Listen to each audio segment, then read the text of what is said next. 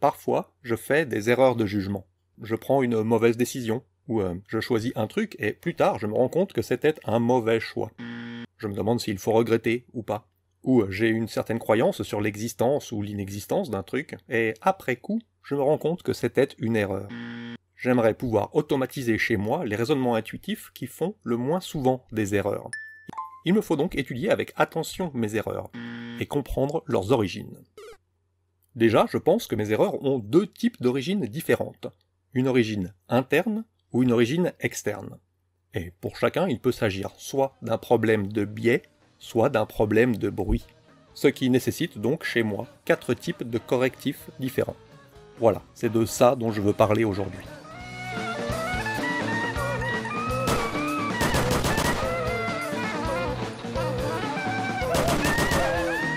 Je pense donc que mes erreurs ont deux types d'origines différentes. Une origine interne ou une origine externe. Une origine interne, pour commencer, c'est quand c'est moi qui déconne. Un bug dans mon cerveau, un défaut de raisonnement, un rouage grippé dans la mécanique interne de mon jugement qui m'a fait aboutir à une conclusion erronée. Une conclusion que l'on ne devrait normalement pas tirer à partir des données que j'avais. Voilà le processus. J'ai des données, Ici, c'est l'article que je suis en train de lire, mes perceptions actuelles, mon expérience du moment.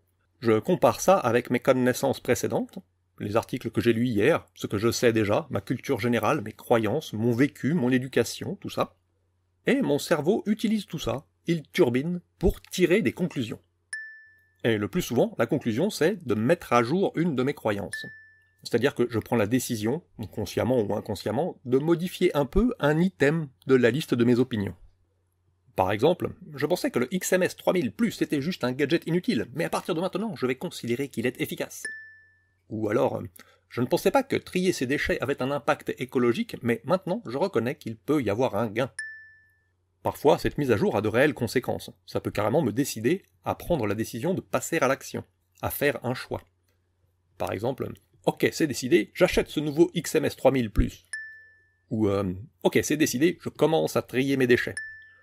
La lecture de cet article a suscité en moi un raisonnement, qui a eu pour conséquence de modifier une de mes croyances, ou de modifier un de mes comportements. J'espère bien sûr qu'il l'a modifié à raison. Mais parfois, il l'a modifié à tort. Quand ma raison déconne, je tire des conclusions daubées. C'est une erreur de jugement, une erreur interne. Ça, c'est largement traité par le milieu des sceptiques zététiciens militants.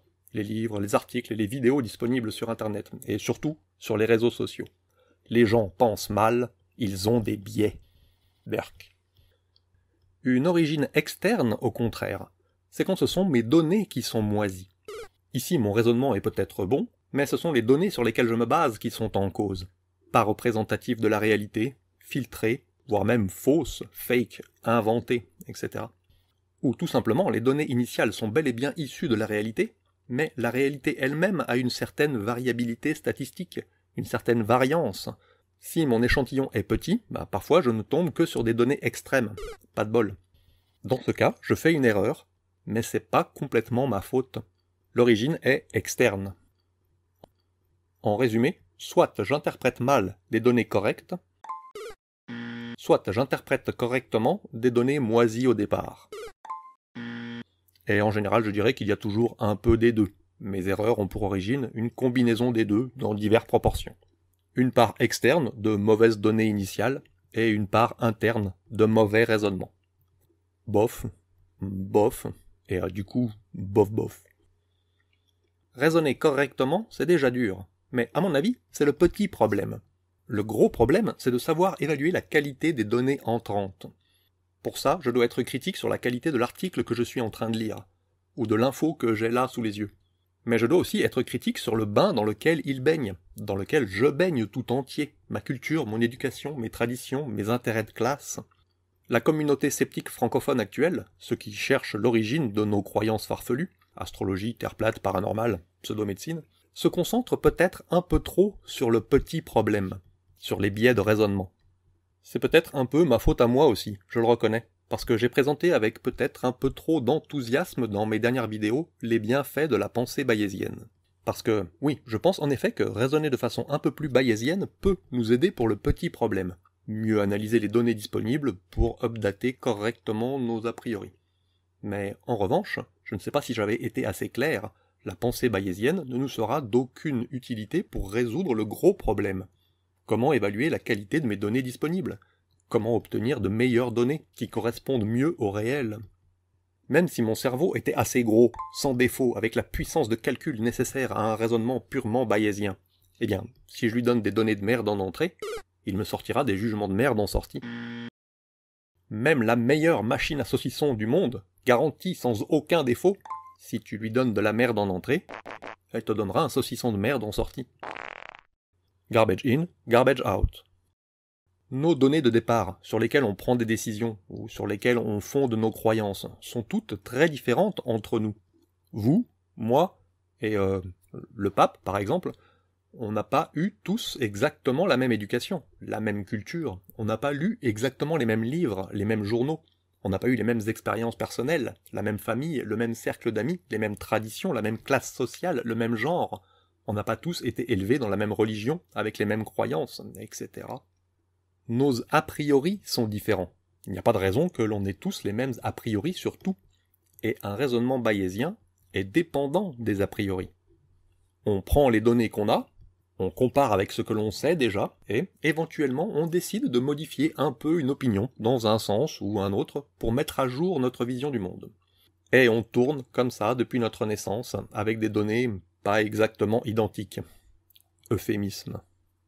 Du coup, même si maintenant je nous présente à tous le même jeu de données, je sais pas moi par exemple le rapport du GIEC, et même si ces données sont vraiment exactes et conformes au réel, et même si on avait tous des turbos-cerveaux sans aucun biais, eh bien, on aura quand même des jugements différents sur les mesures écologiques.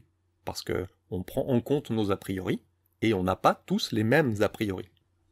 C'est pour ça que, depuis le début, ma chaîne repose sur ces deux piliers. L'éducation à la pensée critique, la rationalité, en particulier le bayésianisme, pour agir ici, savoir analyser la qualité de mes raisonnements, éviter mes biais, tout ça, et l'éducation aux médias, pour agir ici, savoir analyser la qualité des données que l'on vient me proposer, savoir évaluer la qualité des données dont je me suis fait gaver depuis ma naissance. Hmm, concentrons-nous pour commencer sur les causes externes, sur la qualité des données de travail. C'est la qualité de mes sources d'information, de mes abonnements de presse, réseaux sociaux, YouTube, de mes choix de livres, tout ça. Ici, ce que j'appelle des données de qualité, c'est simplement des données représentatives du réel, qui ne doivent pas être trompeuses.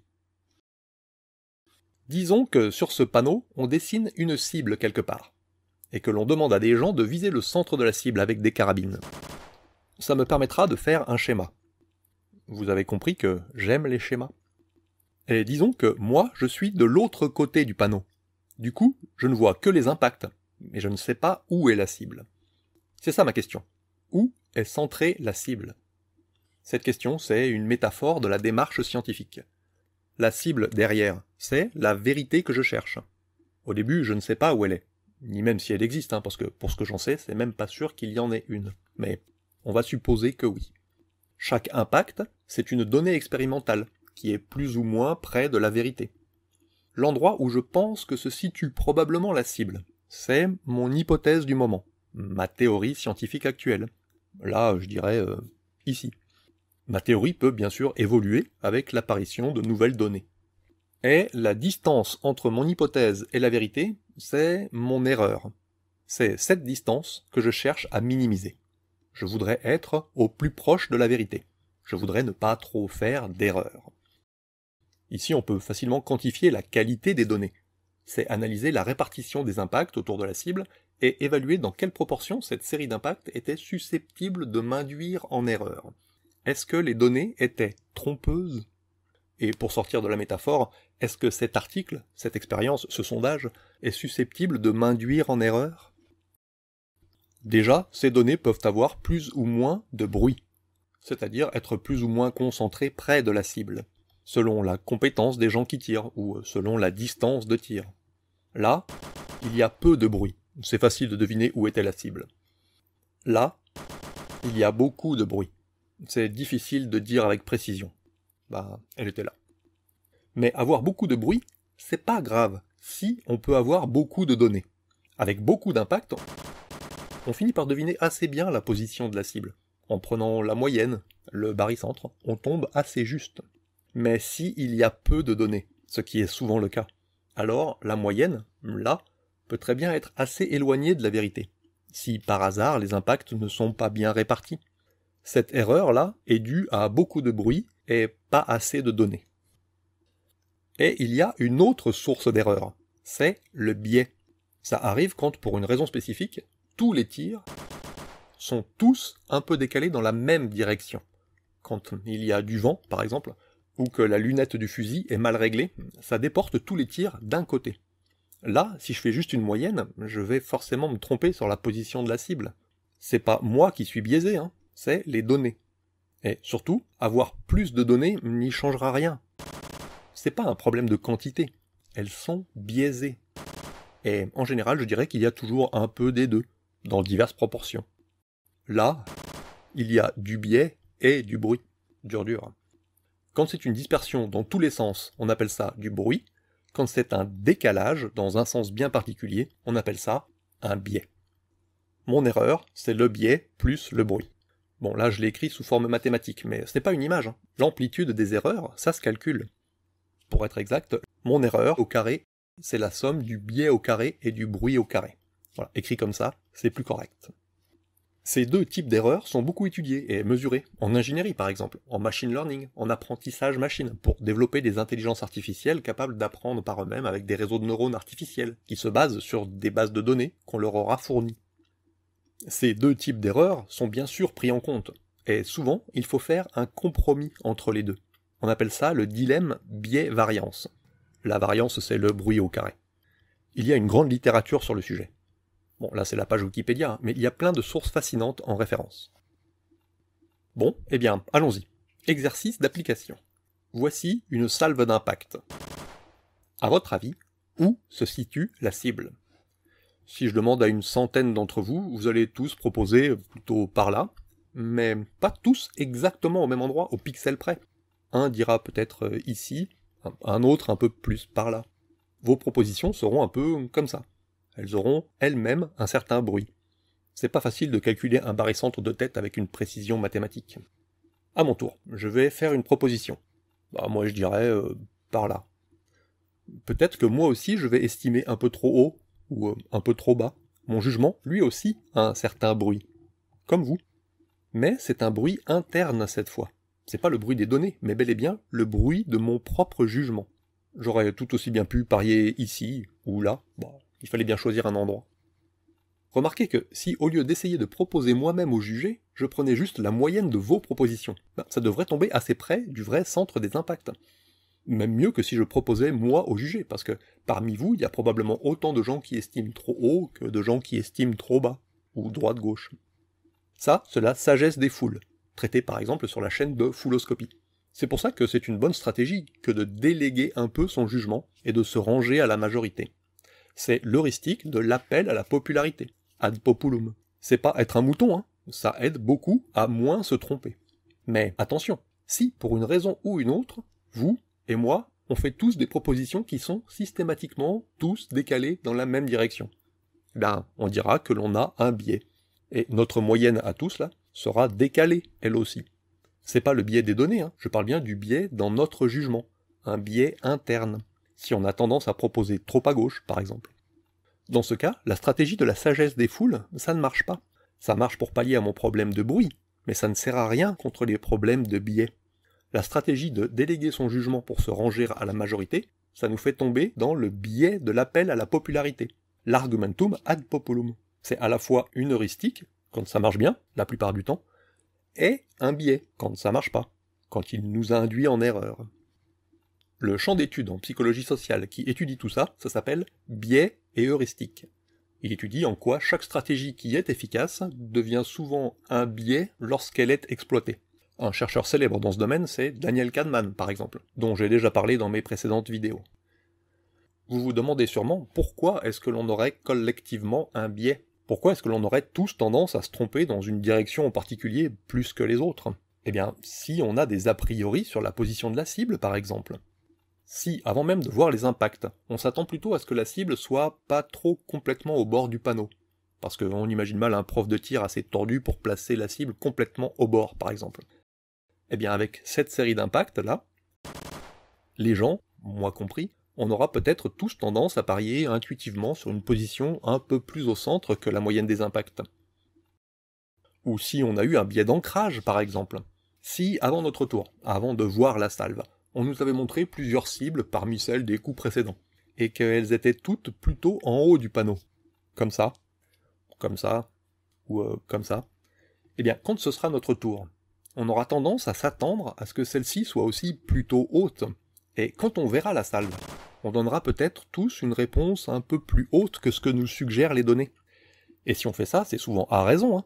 Là, on avait des raisons de penser que la réponse serait probablement assez haute. Nos biais sont pas juste là pour nous faire chier. La plupart du temps, il y a une bonne raison. Le Fat Tony qui est en moi me pousse à ne tenir compte que des nouvelles données, sans utiliser mes attentes a priori. Et du coup, son jugement n'aura pas de biais. Mais il aura beaucoup de bruit. Il est soumis à la fluctuation des données trop volatiles. Le Dr John qui est en moi me poussera à faire confiance à mes attentes a priori et à me méfier des nouvelles données. Du coup, il n'a pas de bruit. Il mise toujours au même endroit, qui ne dépend pas de la répartition de cette dernière série d'impacts, mais uniquement de son modèle. Mais si son modèle n'est pas absolument correct, son jugement sera systématiquement biaisé. Préférer être volatile ou bien préférer être biaisé Le dilemme. C'est très bien expliqué par Nguyen Wang sur la chaîne The Science for All. L'étude des biais internes, les biais cognitifs, c'est fascinant. Quelles sont leurs origines, dans quelles conditions ils sont utiles et dans quelles conditions ils nous mettent dedans. C'est fascinant. Mais ça ne doit pas nous empêcher d'étudier aussi le bruit. Notre jugement a du bruit. Il faut gérer ça aussi. Si on me demandait plusieurs fois, à des moments différents, de deviner la position de la cible d'une même série de données, je donnerais pas toujours exactement le même endroit. Un jour, je te le placerai peut-être euh, ici, un autre jour, euh, plutôt par là. Dans le monde professionnel, on a beaucoup de décisions à prendre, de jugements à donner. C'est très étudié et mesuré, et on mesure clairement que l'on a du bruit. Si on présente plusieurs fois le même dossier criminel à un juge, à des moments différents, et qu'il a un peu oublié qu'il avait déjà jugé celui-là le mois dernier, il ne donnera pas toujours exactement la même sentence. Il mettra peut-être 32 mois de prison alors qu'il avait mis 25 mois la dernière fois. Il sera plus sévère de bon matin et plus clément après le déjeuner. Le lundi, sa sévérité dépendra de si son équipe de foot préférée a gagné ce week-end ou pas. Oui oui, il y a plein d'études scientifiques là-dessus. Lisez-les. Moi en tout cas, ça m'a vraiment fait changer de perspective. Voici d'autres exemples si on redemandait à un agent d'assurance d'évaluer le malus de risque incendie d'un bâtiment dont il avait déjà fait une audite, mais dont il ne se souvient plus le malus qu'il avait décidé, ou à un agent immobilier d'estimer une maison, bah, il ne redonnera peut-être pas exactement le même chiffre. Nos jugements ont une petite proportion d'arbitraire, de random, d'aléatoire, de bruit. Le bruit dans le jugement, c'est le titre du nouveau livre de Daniel Kahneman, Olivier Sibony et Cass Sastain il donne plein d'exemples et de données scientifiques tout à fait alarmants. C'est principalement sur ce livre qu'est basée cette vidéo. Olivier Sibony est francophone et il explique ça très bien en français, par exemple dans cette vidéo. La thèse soutenue par les auteurs, c'est que les biais dans le jugement professionnel, c'est un problème, mais au moins on peut facilement les repérer, et du coup essayer de les compenser après coup. Alors que le bruit, ça cause tout autant de dégâts, et ça passe beaucoup plus inaperçu, parce que en moyenne, ça tombe juste. Voici un autre exemple pour être plus clair. Un prof qui corrige des copies du bac, par exemple, il émet un jugement professionnel, la note. Les profs jugent et notent les copies. Si, pendant les corrections du bac, on ajoute en douce une même copie de référence à la pile de différents profs de plusieurs lycées différents, pour vérifier, on se doute bien que tous les profs mettront pas tous exactement la même note à cette même copie mais on espère quand même qu'il n'y aura pas trop de dispersion, qu'ils mettent tous à peu près la même note à un ou deux points près, qu'il n'y ait pas trop de bruit. Si cette année, les profs de mon lycée notent ces copies de référence plus sévèrement en moyenne que les profs des autres lycées, eh ben c'est pas cool, c'est un biais. La note de ma fille dépendra beaucoup du lycée où elle est inscrite. C'est injuste. Mais à la fin de l'année, sur les statistiques, ça va finir par se voir. On pourra prendre des mesures pour éventuellement corriger le tir, harmoniser les notes, et euh, ça se fait, hein. il existe des commissions d'harmonisation. On sait gérer ces genres de biais. Si, cette année, les profs de mon lycée ont noté ces copies de référence en moyenne aussi sévèrement que les profs des autres lycées, ben c'est cool, la note de ma fille ne dépendra pas de son lycée, il n'y a pas de biais. À la fin de l'année, sur les statistiques, on verra qu'il n'y a rien à compenser pour mon lycée. On ne fera pas d'harmonisation de notes. Mais comparé en moyenne, ça ne dit pas tout. Si ça se trouve cette année, les profs de mon lycée ont mis parfois 2 et parfois 19 pour la même copie. Ils ont beaucoup de bruit. Et ça aussi, c'est un problème. Ça aussi, c'est injuste. Si ça se trouve, il n'y a même pas de prof qui note plus sévèrement que les autres en moyenne, et d'autres moins sévèrement. Hein. Si ça se trouve, le prof à qui a été confié la copie a mis une note très basse parce qu'il était fatigué en fin de journée, mais il lui aurait mis une note très haute le matin même, ou euh, juste après son café. Si ça se trouve, il a tiqué sur l'utilisation d'un mot dans l'intro, et la copie aurait eu une bonne note si elle avait juste employé un synonyme. Ou si ça se trouve, la forme de la calligraphie de l'élève a eu une influence sur son jugement, et il ne s'en rend même pas compte. Et personne ne s'en rendra jamais compte, parce que, en moyenne, ses notes sont les mêmes que celles des autres profs. En moyenne, il n'y a pas de biais. Mais si chaque note individuellement est arbitraire, il y a du bruit. Et c'est injuste. Du coup, voilà. Mes erreurs peuvent avoir quatre types d'origines différentes. Et je dois essayer de trouver comment améliorer chez moi chacune de ces sources d'erreurs. Il faut que j'essaye d'avoir des données de qualité qui ne s'éloignent pas trop de la réalité, avec pas trop de bruit, de dispersion, et pas trop de biais, de décalage. Et il faut que j'essaye d'avoir un jugement adéquat, qui ne s'éloigne pas trop de ce que suggèrent mes données, avec pas trop de bruit et pas trop de biais. Notez que mes biais de jugement, la plupart du temps, ils me compensent un biais dans les données. C'est bien foutu. Là, on voit que mon jugement biaisé va tomber pas trop mal au final. Mes biais sont des avantages précieux, souvent sélectionnés depuis des millions d'années par l'évolution pour répondre à un certain environnement, ici. Le problème, c'est que notre environnement change vite. En quelques siècles, on n'a plus du tout les mêmes conditions de vie, on n'est plus du tout soumis aux mêmes stimulus. Notre environnement change plus vite que l'évolution des espèces ne s'adapte.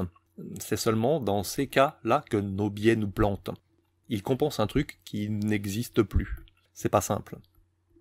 Il faut que je sois vigilant sur chacun de ces types d'erreurs, et chacun va me demander des moyens différents pour les corriger. En général, mon erreur globale a pour origine euh, bah, une combinaison des quatre, dans différentes proportions. On peut essayer d'agir partout. Et si jamais je devais m'aventurer à critiquer les erreurs des autres, eh bien c'est pareil. Il faut envisager chacune des quatre origines possibles de son erreur, et en particulier éviter d'analyser les erreurs des autres systématiquement en termes de causes internes. Les gens ont des biais, les complotistes sont cons, tout ça. Pour montrer que ces distinctions ne sont pas juste de la branlette intellectuelle d'un philosophe, voici un exemple de la vie quotidienne. Si, dans mon immeuble, il y a des gens qui se trompent d'ascenseur, souvent ils prennent celui qui descend alors qu'ils veulent monter. Une façon de cadrer le problème de se demander comment améliorer l'ergonomie, de rendre plus clair les sens de circulation. Des ingénieurs et des designers se penchent depuis longtemps sur ces genres de problèmes, et certains ascenseurs peuvent largement être améliorés. Il faut chercher des solutions. Et une autre façon de cadrer le problème, ce serait juste de déplorer le fait que les gens sont cons, qu'ils sont débiles de se tromper, qu'il faut qu'ils fassent plus attention. Cause externe, cause interne. Les deux approches sont valides, hein. Oui, si les gens faisaient plus attention, ça irait mieux. Mais tout analyser uniquement sous l'angle des causes internes, déplorer la connerie des gens systématiquement, eh ben, c'est pas seulement hyper vexant pour les personnes qui se trompent, parce qu'on s'en fout d'être bienveillant juste par principe, hein, c'est surtout que ça empêche de comprendre le problème. Ça empêche de trouver des solutions. Pour agir au mieux et améliorer le monde, réduire nos erreurs, il faut commencer par comprendre le monde, comprendre les vraies origines de nos erreurs.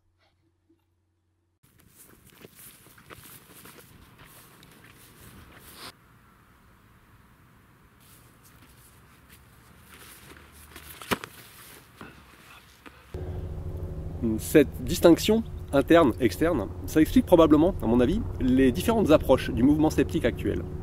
Vouloir rendre responsable de nos erreurs plutôt les causes externes ou plutôt les causes internes, c'est en fait un engagement politique fort. Dans un cas, si ce type croit à une ânerie, terre plate, homéopathie, théorie du complot, c'est sa responsabilité individuelle. Il est libre de ses choix. Il est libre de croire ou de ne pas croire. Si fait le mauvais choix, eh bien il est con ou à la limite, il a des biais cognitifs, et il faut qu'il corrige son erreur. Dans l'autre cas, si ce type croit une ânerie, c'est la responsabilité de son environnement informationnel. Il est victime de la désinformation, des stéréotypes ambiants. Pour l'aider, il faut corriger les médias, ajuster les algorithmes des réseaux sociaux, changer le système éducatif, agir sur les stéréotypes, sur les chambres d'écho. Interne, externe, il faut agir sur les deux bien sûr. Nos erreurs de jugement sont probablement une combinaison des deux. Mais comme je le disais plus haut, gérer nos biais internes, c'est le petit problème. Les biais de raisonnement, c'est pas la plus grosse source d'erreur en fait. J'ai cherché dans la littérature scientifique pour sourcer tout ça. Et il y a plein de cas de figure qui sont étudiés. Mais c'est difficile de généraliser. Mais de toute façon, la plupart de nos biais internes viennent de nos croyances a priori, qui ont été gravées en nous par notre environnement informationnel, notre religion, notre culture, notre famille.